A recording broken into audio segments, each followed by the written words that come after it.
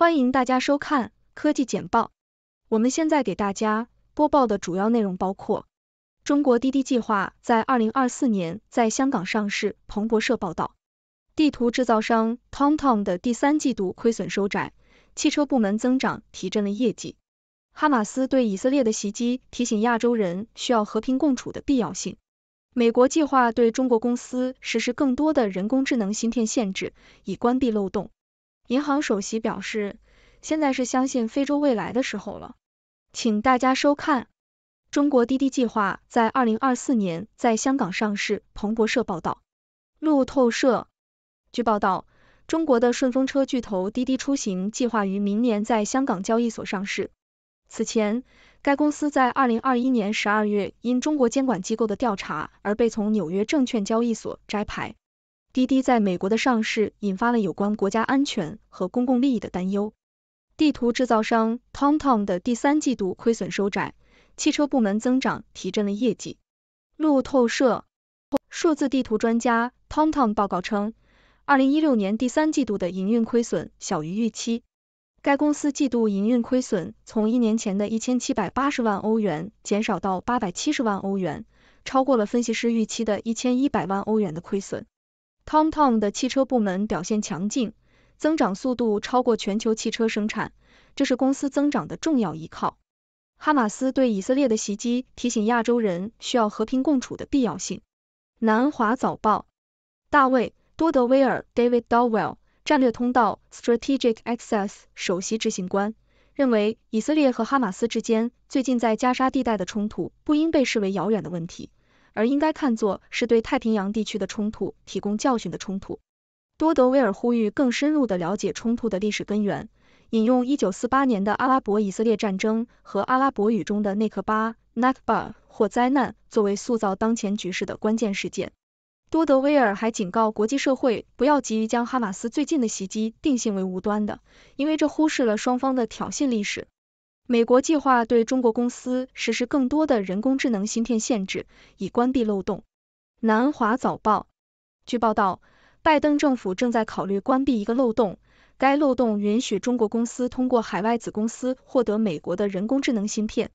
去年，美国对向中国出口人工智能芯片和芯片制造工具实施了限制，但是允许中国公司的海外子公司自由获取相同的半导体。这个漏洞使得中国企业可以从深圳的供应商购买芯片。关闭这个漏洞是美国政府割断中国与顶级人工智能技术联系的努力的一部分，但专家表示，监管这些交易很困难。远程访问位于海外子公司的芯片是合法的。银行首席表示，现在是相信非洲未来的时候了。卫报，非洲是老龄经济体的未来劳动力。是时候摒弃有关腐败和风险的神话了。非洲开发银行行长阿金维米·阿德西纳表示，阿德西纳表示，人们对非洲经济前景的信心正在复苏，有充分的理由对此持乐观态度。他接着说，非洲的人口优势、不断扩大的中产阶级和广阔的投资机会，意味着正在发生转变。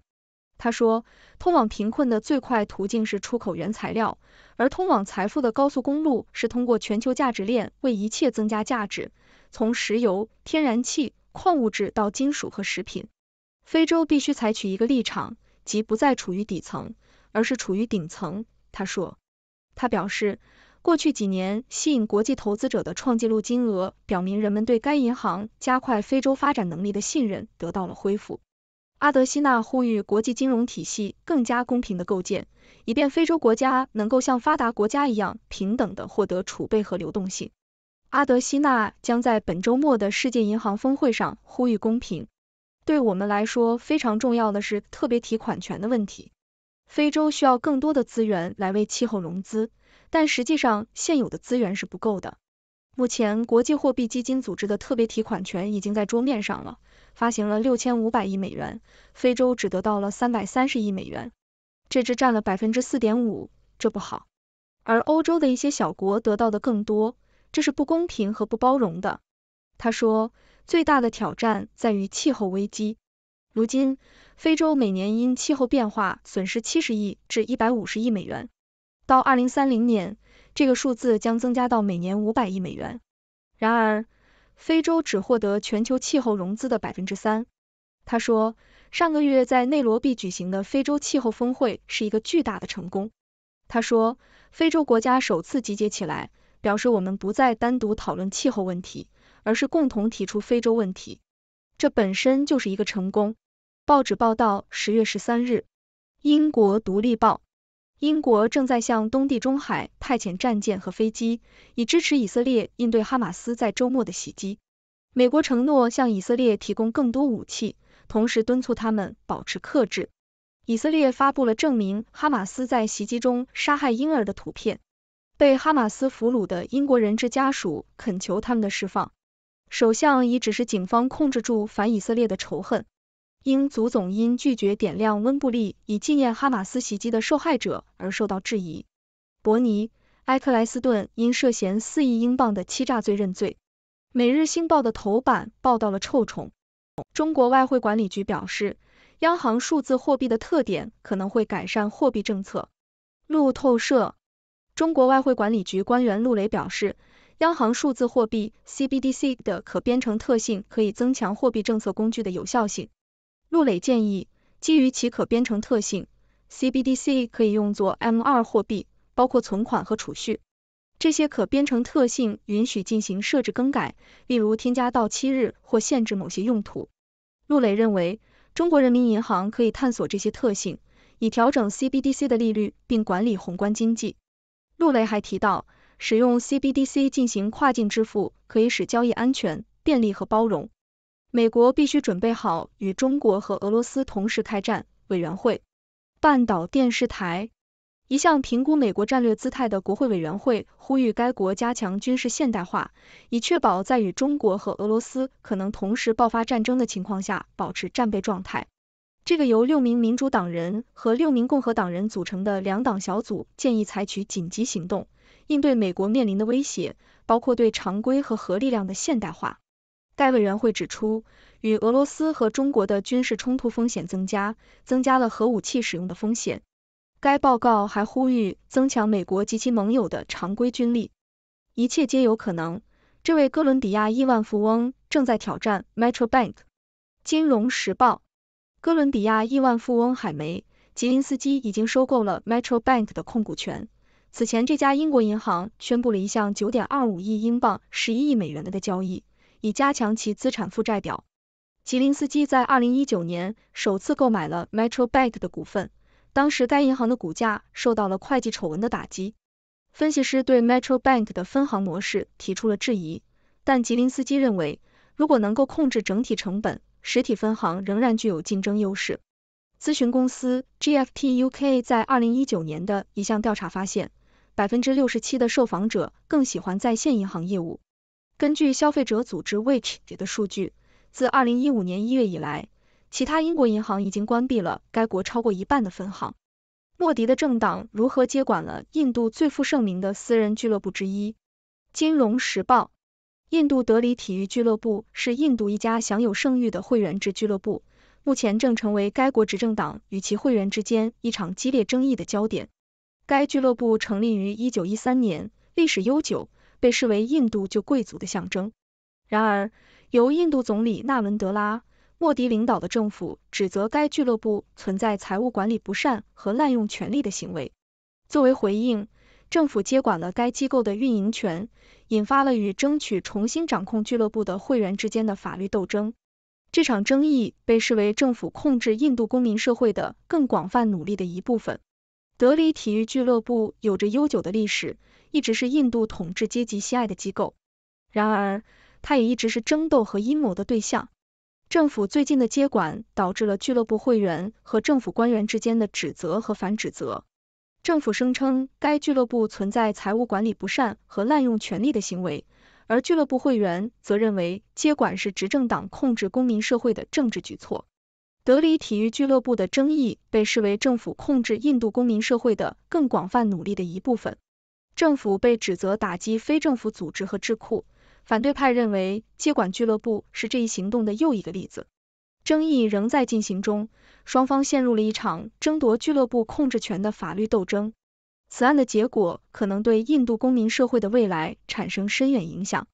各位观众朋友们，大家好，我是来自六度世界的六博士，今天给大家带来了一些有趣的新闻报道，让我们来回顾一下吧。首先，中国滴滴计划在二零二四年在香港上市，滴滴的上市计划受到了一些担忧，但我觉得这是一个很好的机会，让我们看到中国科技公司的成长和发展。接下来，TomTom 的第三季度亏损收窄，汽车部门的增长提振了业绩。这显示了汽车行业的复苏和增长，也表明了数字地图技术在汽车行业中的重要性。哈马斯对以色列的袭击提醒亚洲人需要和平共处的必要性。这场冲突并不只是中东地区的问题，它应该被看作是一个对全球和平的提醒。我们应该深入了解冲突的历史背景，以更好的理解并寻求解决办法。美国计划对中国公司实施更多的人工智能芯片限制，以关闭漏洞。这显示了美国对中国科技行业的担忧，但是要监管这些交易并不容易，因为远程访问位于海外子公司的芯片是合法的。银行首席表示，现在是相信非洲未来的时候了。非洲的经济前景正在复苏，这是一个令人振奋的消息。非洲必须采取行动，从底层走向顶层，实现繁荣和发展。英国向东地中海派遣战舰和飞机，以支持以色列应对哈马斯的袭击。这显示了英国对以色列的支持，但是英国政府也面临着一些批评和质疑。中国外汇管理局表示，央行数字货币的特点可能会改善货币政策。数字货币的发展将对货币政策产生积极的影响，这是一个有趣的观点。美国必须准备好与中国和俄罗斯同时开战。这个观点有点夸张，但是这也反映了当前国际局势的紧张性。我们希望所有国家都能够和平共处，避免战争。最后，哥伦比亚亿万富翁正在挑战 Metro Bank，这显示了金融界的竞争激烈，也是一个机会。可以看到不同国家和地区的企业家的活力和创新。以上就是今天的新闻内容。我希望这些讯息能够给大家带来一些启发和思考。现在。我想听听你们的想法和意见，你有什么样的想法？谢谢您的收看。上面播报的内容是六度团队推荐的全球专业媒体、智库、政府机构和行业专家的最新报道、分析简报。更详细的内容，请大家去这些媒体、智库的网站阅读。这些内容并不一定反映六度简报的立场，亦不能作为任何决策的建议。六度团队由专业媒体人、学者、科学家组成的独立新型媒体，大家可以根据自己的专业要求订阅各种简报。网址是六度 brief 点 com。您在世界任何地方都可以通过电邮收到六度简报。